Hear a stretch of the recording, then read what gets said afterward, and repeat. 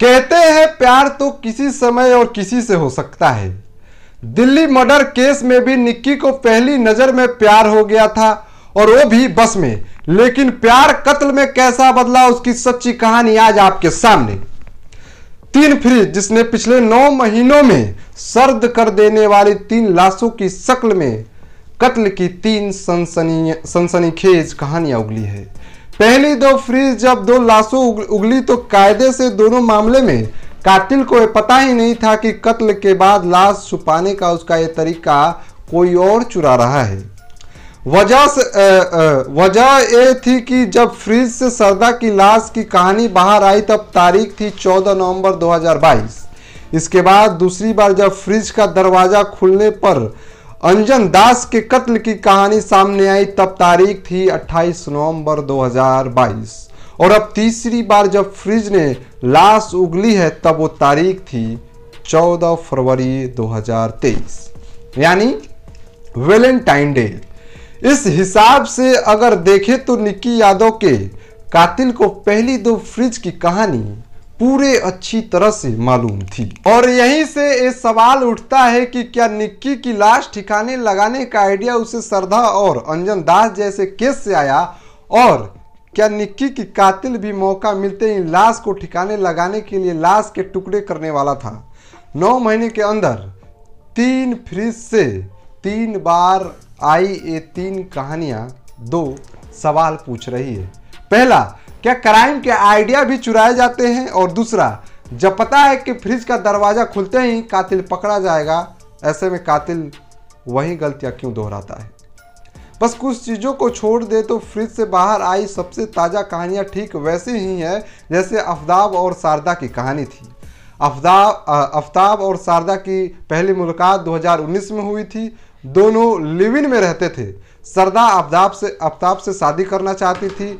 यहाँ इस नई कहानी में निक्की यादव और साहिल गलहोत की पहली मुलाकात 2018 में हुई थी। ये दोनों भी घर वालों से छुपकर लिविन में रहते थे। यहाँ निक्की भी साहिल से शादी करना चाहती थी। लेकिन श्रद्धा और निक्की दोनों का दोनों का ही अंजाम बंद फ्रिज निकला।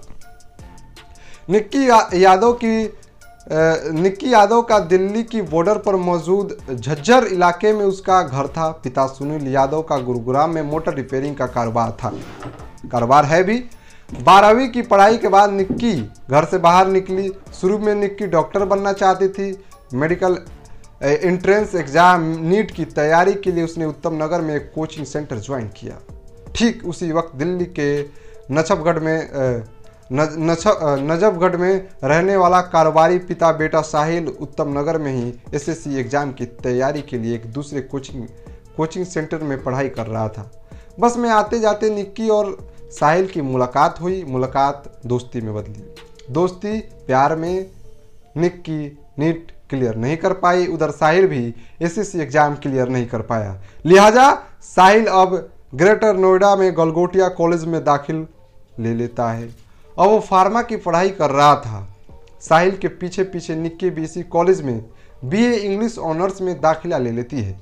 चूँकि दोनों का घर ग्रेटर नोएडा से बहुत दूर था लिहाजा दोनों ग्रेटर नोएडा में किराए के मकान ले लेते हैं और दोनों लिव इन में रहना शुरू कर देते हैं। इसी बीच कोरोना कोरोना दस्तक दे देता है। दोनों अपने घर लौट आते हैं। कोरोना खत्म होते, होने के बाद निक्की उत्तम नगर में, उत्तम नगर में बिंदापुर इलाके में किराए के मकान में ही रहने लगती है। जबकि साहिल अब अपने घर में रह रहा था। लेकिन दोनों की रोज़ाना मुलाकात होती थी। अब तक सब कुछ ठीक चल रहा था, मगर तभी साहिल की एक झूठ, निक्की की दुनिया में तूफ़ान ला देता है। दरअसल, वेलेंटाइन डे करीब था। निखिल साहिल के साथ गोवा में वैलेंटाइन डे मनाना चाहती थी। उसने टिकट तक बुक कर रखा था, मगर इधर साहिल की ज़िंदगी ज़िंदगी और घर में एक नई कहानी जन्म ले चुकी थी। साहिल के घर वालों ने साहिल का साहिल का रिश्ता कहीं और तय कर दिया था। 9 फरवरी को सगाई थी और 10 फरवरी को शादी। साहिल ने अपने घर वालों को निक्की के बारे में कभी कुछ बताया ही नहीं था। उधर साहिल ने अपनी आ, साहिल ने भी अपनी मंगनी और शादी की बात निक्की से छुपाई थी। साहिल के घर में शादी की तैयारियाँ जोरों शोरों से जारी थी। सगाई की तारीख आ चुकी थी 9 फरवरी। इत्तेफाक से ठीक 9 फरवरी फरवरी को हुई निक्की को साहिल की सगाई और सगाई और शादी की सच का पता चल गया। वो इस धोखे में आग बबूला हो गई। उसने साहिल को फ़ोन कर मिलने को कहा। वो चाहती थी कि साहिल उस रिश्ते को तोड़कर उससे शादी कर ले। यही बात करने के लिए उसने 9 फरवरी को साहिल को मिलने के लिए कहा। 9 फरवरी की रात सगाई के बाद साहिल अपने हुंडई वेरेना कार में विंदापुर निक्की से रात करीब 11 बजे मिलने पहुँचा। इत्तेफाक से निक्की की बहन भी कुछ कुछ वक्त कुछ वक्त से निक्की के साथ रह रही थी। बहन के सामने दोनों मिलते हैं। इसके बाद निक्की साहिल के साथ कार में बैठकर निकल जाती है। ये कहते हुए कि वो टिप पर देहरादून मसूरी जा रही है। दरअसल निक्की को उम्मीद थी कि वो साहिल के साथ वैलेंटाइन मनाने गोवा चली जाएगी, मगर ऐसा होता नहीं है। कार में बैठते ही निक्की साहिल से लड़ने लगती है, झगड़ने लगती है। वो उसे अगले दिन होने वाली शादी तोड़कर उससे शादी करने की जिद करने लगती है। हुंडई वेरेना कार लगातार दिल्ली की सड़कों पर दौड़ रही थी। और कार के अंदर साहिल और निक्की झगड़ रहे थे।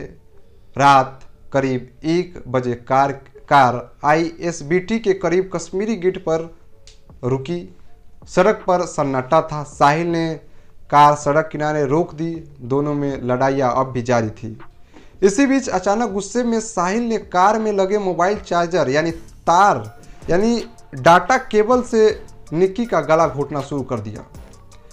थोड़ी देर में ही निक्की ने दम तोड़ दिया। इसके बाद पहली बार साहिल घबराता है।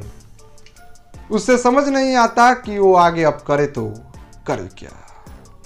लाश अब भी कार में थी और साहिल कार को बदहाल, बदहवास स्थिति में दिल्ली की सड़कों पर इधर उधर दौड़ाता रहा। इस दौरान एक बार भी किसी भी मोड़ पर नाके या किसी पुलिस वाले ने उसकी कार को नहीं रोका।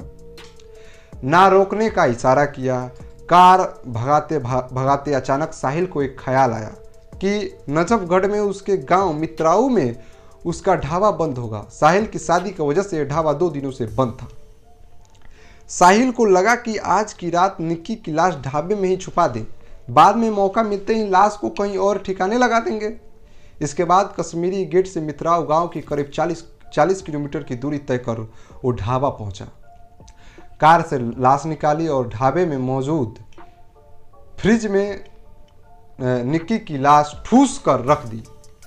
ढाबा बंद होने की वजह से फ्रिज भी बंद था। लाश फ्रिज में रखने के बाद साहिर घर लौट आया और उसी रात होने वाली उसकी शादी की तैयारी में जोरों शोरों से जुट गया। 10 फरवरी को यानी निक्की के कत्ल के 24 घंटे के अंदर साहिल को एक दूसरी लड़की के साथ साथ फेले, साथ फेरे ले रहा था। उधर कुछ दूरी पर निक्की एक फ्रिज में बंद थी।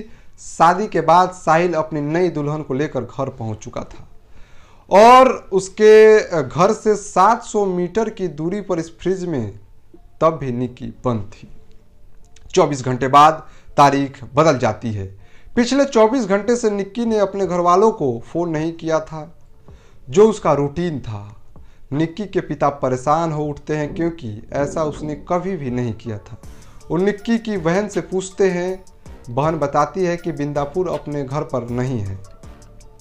निक्की की एक दोस्त जो साथ रहती थी, वो भी बताती है कि निक्की घर नहीं आई है। बाद बाद में निक्की की बहन अपने पिता को बताती है, निक्की आखिर आखिरी बार साहिल साहिल नाम के अपने एक दोस्त के साथ गई थी, उस साहिल का नंबर भी पिता को देती है। तब पहली बार निक्की के पिता साहिल को फ़ोन करते हैं। इसी तरह तीन तीन दिन तक साहिल साहिल मतलब निक्की के पिता को टालता रहा। चूँकि निक्की की बहन ने यह भी कह दिया था कि वो ट्रिप पर देहरादून और मसूरी जा रही है। लिहाजा घर वालों ने निक्की की गुमशुदगी की रिपोर्ट भी नहीं लिखवाई, लेकिन तभी कहानी में एक नया ट्विस्ट आता है। चौदह फरवरी को मित्राऊ मित्राऊ गाँव का एक शख्स इसी गाँव में रहने वाला दिल्ली पुलिस के एक अफसर को फ़ोन करता है। वो गुमनाम शख्स साहिल और निक्की के रिश्तों को जानता था। उसे ये बात बड़ी अजीब लग रही थी कि साहिल की शादी हो गई और निक्की का अता पता नहीं है। उससे भी अजीब ये थी कि पिछले कुछ दिनों से उसे निक्की दिखाई भी नहीं दी थी। उसे साहिल के ढाबे में कुछ गतिविधियों को लेकर भी शक था। इसी के बाद पुलिस की एक टीम साहिल के बंद पड़े ढाबे में पहुँची। ढाबे की तलाशी ली और इत्तेफाक से फ्रिज का दरवाज़ा खोल दिया।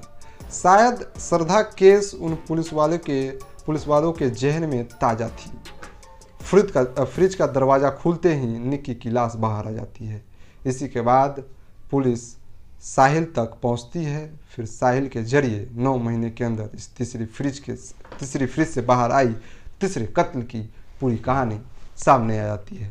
तो क्या आप भी किसी से प्यार करते हैं और प्यार करते हैं तो अच्छी बात है, करना चाहिए। चार साल से हो, पाँच साल से हो, दस साल से हो।